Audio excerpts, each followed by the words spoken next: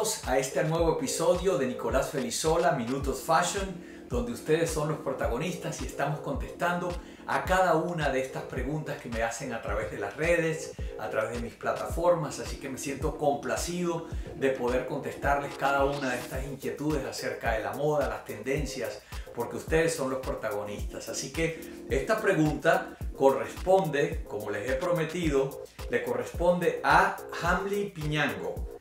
Hanley me pregunta, Nicolás, ¿qué es importante para ti? ¿El color en la moda y cómo uno debe adaptarse a los colores de las tendencias? Importante pregunta porque siempre les he hablado de la teoría del color, de que el color es muy subjetivo y está siempre relacionado también con nuestra personalidad.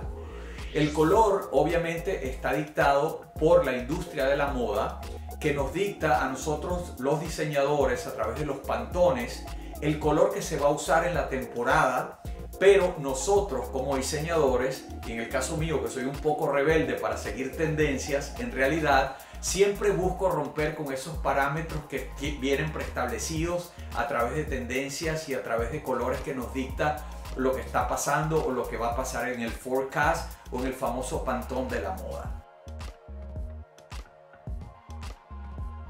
Los colores realmente son para mí algo muy importante y está ligado con la personalidad de cada uno de ustedes, pero al mismo tiempo está ligado también con el estado de ánimo que tengan.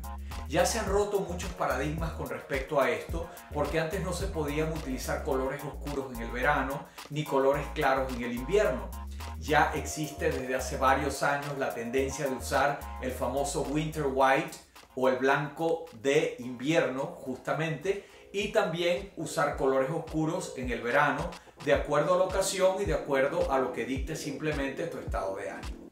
Para mí los colores realmente están también en el ojo del espectador. Lo más importante es que podamos elegir cualquier color que nos haga sentir cónsonos con lo que queremos representar y el mensaje que queremos dar. Les he dicho mil veces que no nos volvamos esclavos de la moda. La tendencia está dentro de ustedes. Atrévanse a cambiar, atrévanse a ser únicos e irrepetibles, a imponer moda en vez de seguirla como tal. Y en estos días hemos visto justamente que la moda ha evolucionado de una manera maravillosa en que la personalidad de la gente que la usa es lo más importante, es el protagonista. Así que ah, hemos visto que a lo largo de los años cada vez más nos estamos alejando de esos parámetros preestablecidos con respecto a la moda y cada quien usa lo que le hace sentir cómodo, lo que les hace sentir como una segunda piel, los colores que le van de acuerdo a su tono de piel, a la ocasión, como les digo, también al estado de ánimo y lo que ustedes quieren representar a través de cada uno de estos colores que ustedes eligen, de esta policromía maravillosa que tenemos para expresarnos como seres humanos únicos e irrepetibles. Gracias por estas preguntas, sigo contestándoles a través de mi canal de YouTube y de todas mis plataformas y los espero en una próxima edición de Nicolás Felizola Minutos Fashion.